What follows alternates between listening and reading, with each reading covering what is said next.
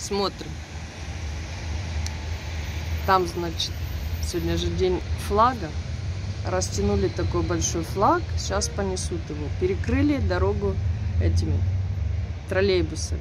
И все, кто едет туда, хочет повернуть, все в шоке.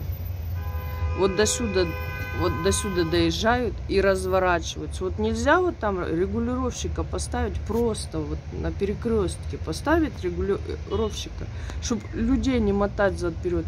Одно делаем, другое. Эти все в шоке едут, не знают, что теперь делать. Там устроили парад, здесь облаву. Не облаву, а пробку. Ну, просто дяденьку поставить, чтобы показывал, чтобы ехали прямо.